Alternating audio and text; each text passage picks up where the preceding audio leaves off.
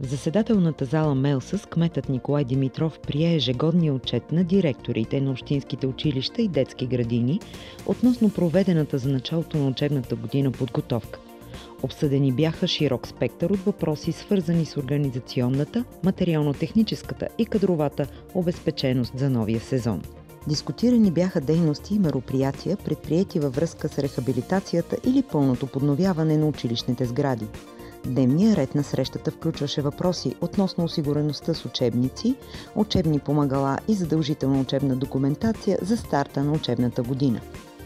Осигуреността за отоплителния есенозимен сезон, договори за отопление, доставка на гориво, средства за отопление, осигурени санитарно-хигиенни условия в съответствие с нормативните изисквания – необходимост от мерки за осигуряване безопасността на пътя в районите на детските градини или училищата, освежаване на спортни площадки и площадки по БДП.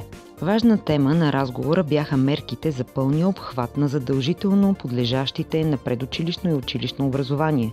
Обсъдени бяха механизмите за задържане на децата в образователните институции и средства, с които да се постигнат набелязаните цели. Внимание бе отделено и на дейностите по оказване на помощ за подрастващите застрашени от отпадане от образователните институции и финансирането на маломерните паралелки в училищата.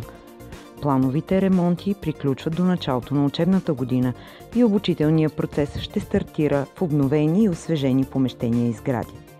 Община Несебър е пряко и отговорно ангажирана с качеството на базите на училищата и детските градини на своята територия и ежегодно отделя значителни средства от бюджета си за подобряване на средата, в която децата се учат и развиват.